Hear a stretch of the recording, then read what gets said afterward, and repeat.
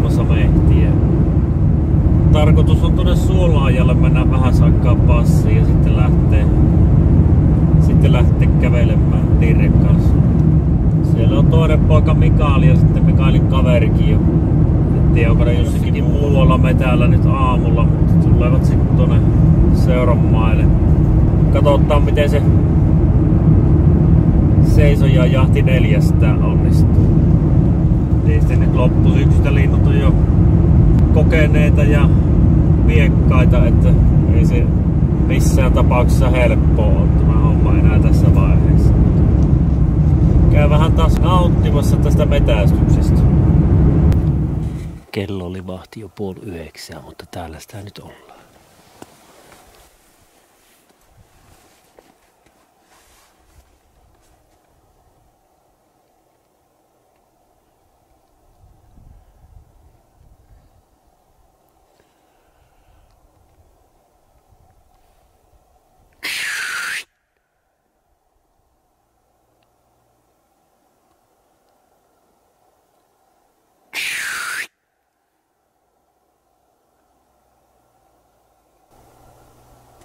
Pari kuvaa laitettiin tuonne suolle.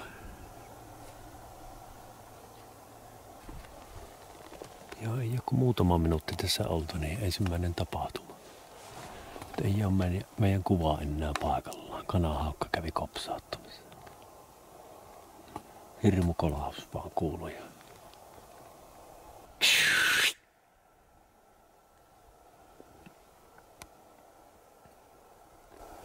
Se on kello yhdeksän ja tuosta muutama teeri nyt lenti jo yli tuonne. Tuonne isoa suuta kohti lentivät. Jospa tässä nyt alkaisi tapahtua jotakin.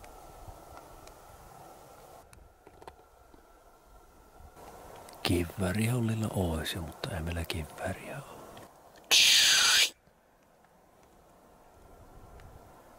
Ne lenti tästä yli ja sitten toiseen suuntaan ja kohta tuli, kävi kiepin tuolle ja tuli takaisin tuolle.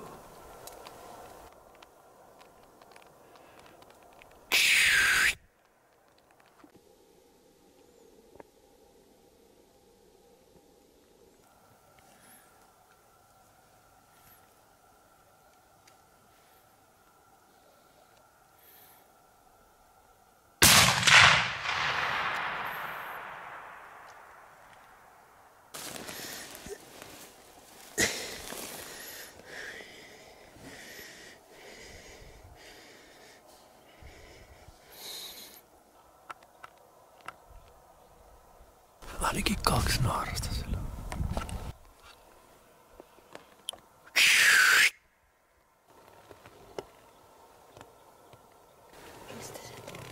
Tuolta se tuli. Niin varmaan. Tuossa yksi teeri kävi. Kävi, mutta varmaan näki meidät. Ei istahtanut edes puu. Se on kello jo yli kymmenen. Teerit on istunut tunnin tulalla tuossa, eikä ne sieltä näytä tulevan tänne. Kyllä kahtelee tänne päin. Vielä pari suhautusta ja jos eivät tule, niin sitten lähdetään hiipimään tuonne. Jos lähtevät lentoon, niin sitten lähtevät. Pitää joutua seisojan kanssa jahtiin. Ne menee muuten koko päivä tässä. Lintuja ventatessa.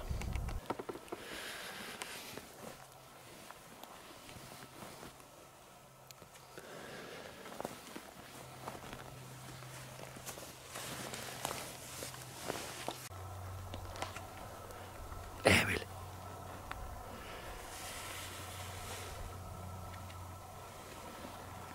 Tuolta oikeeta kuuluu kotkuttelua.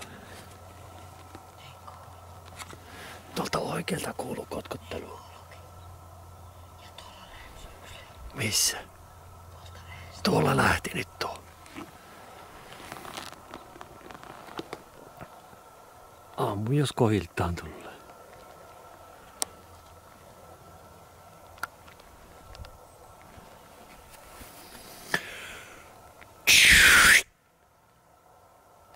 Siellä ne lentää. Eli ei ne kestäneet yhtään lähestyä. Ne lähti. Katoin, että niiden, niiden päät oli korkealla. Joo. Katoin, että. Eiköhän se ollut kuvastusaamu siinä, että ei kestänyt yhtään lähestyä.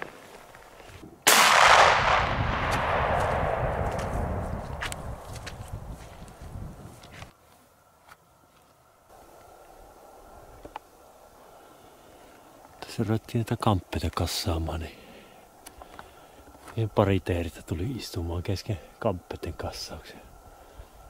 Se melkein istui siihen Emil perään sitä ampua. Ihan kun siihen olisi sattunut, pitäisi melkein käydä kahtoa, että tippuuko se tuonne. Taas sitten haittava tirri. Niin käytiin tirrihakkeet kaveriksi. Ja vähän kahto, tippuuko se yksi lintu, mitä Emil ampuu.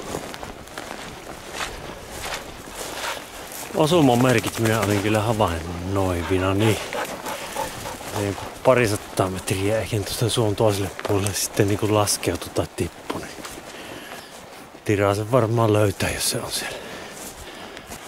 Etsi, etsi. Katsotaan löytyisikö Tirre sen linnun täältä.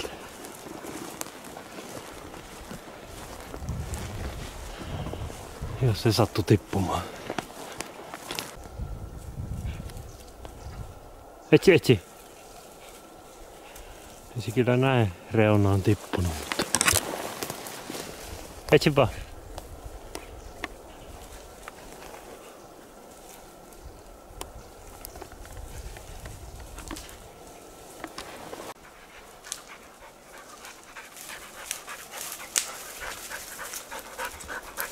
Missä lintu? Etsi, etsi.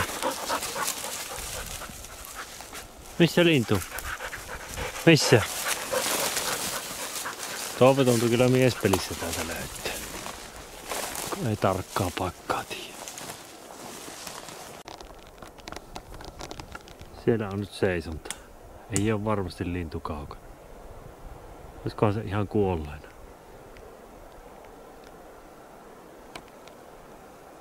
Ai tossa on kuolleena. Siellä se on.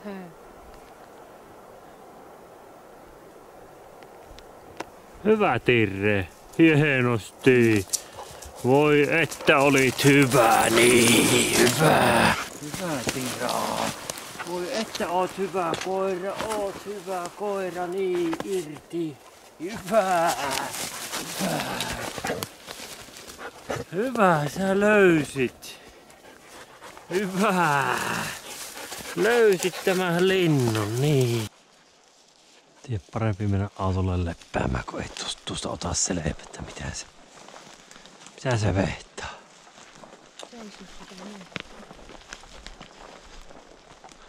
Tää oli niin korkealla puussa, että se ei haissu. Sieltä tulee se haju.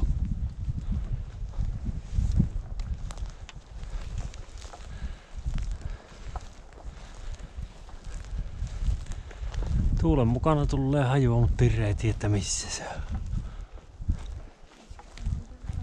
Siinäpä se alkaa olla ensimmäinen lenkki, varsinainen lenkki takana. Yksi mehto sieltä lähti jostain 30 korkealta kuusen latvasta melkein. Muutamia seisontoja siellä oli, mutta ei oikeastaan yhtä. Ei nähnyt, että mitään niistä lähti. Tuossa tuntuu olevan teeret pitkälle päivään puissa söivät. Tuolta lähti. Minun missä oli teeri. Niin tuolta lähti puusta. Vähän ehkä siihen ei olisi Niin, pystynyt ampua sen verran kaakka. Joo. taas. Että onko ne, kun jos linnut on puussa, niin se ei oikein... Haju on olemassa, mutta koira ei niitä oikein paikallista. Teeret tuntuu ainakin kaikki olevan puissa, syövät urpuja ja männyn neulasiakin näkyvät popsiva. Nyt se yksi mehtokin lähti puusta, että onko ne kaikki elukat puussa. Kokeilepa seuraavaksi tässä neljä ukon ja koira yhdistelmää, että miten se semmoinen toimisi. Miten tehokkaalta vaikuttaa tuolla kolme miestä ketjussa tuohon suuntaan ja minä sitten on täällä reunassa. Tire ottaa sitten vielä minun vasemmalta puolelta tuolta vähän tuota aluetta. Tämmönen parin saa metrin levyinen ainakin ketju. Yhdellä miehellä on kivväri selässä, että jos nousee puuhu eestä, tää on uussalin. Tuossa äsken lähti ensin yksittäinen teeri ja yksi pyy lähti ja sitten lähti semmoinen teeriparvi. Kymmenkunta teeriä tänne eteenpäin. Yksi lähti puusta sitten, olisiko ollut noussut puuhun sitten. Nämä on ollut maassa nämä linnut. Olisiko ne tullut takaisin maahan nyt sitten?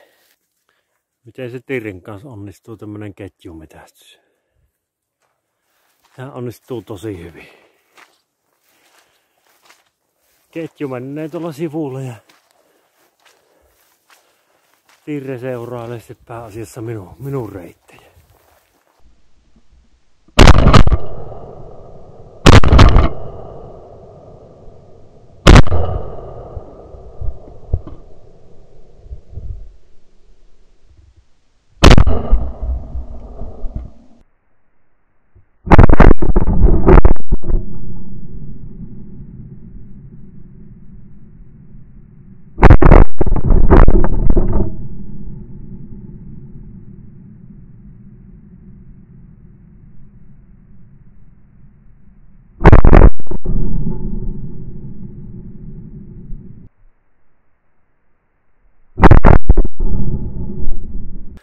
Mikael ampui siellä jäniksen, mutta ei ole Tire.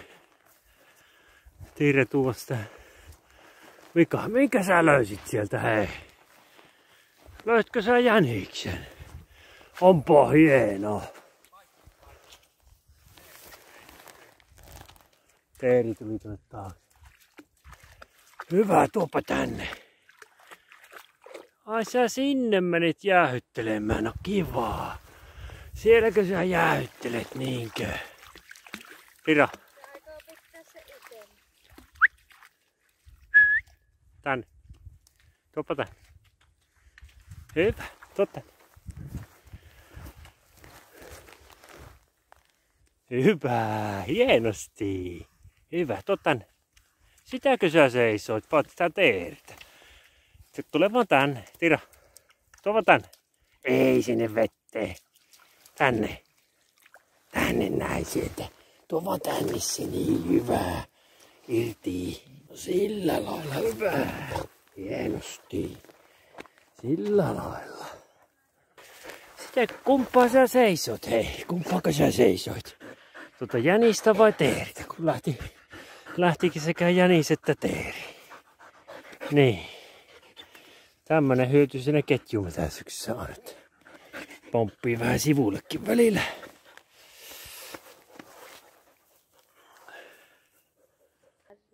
Vähän voimat lopussa. Ei pakottaa.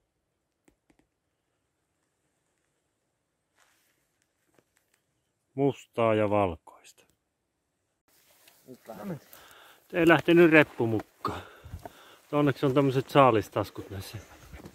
Tämmöiset pienet jäniksen poikaset mahtuu tuonne. Noin. No niin, siellä se on.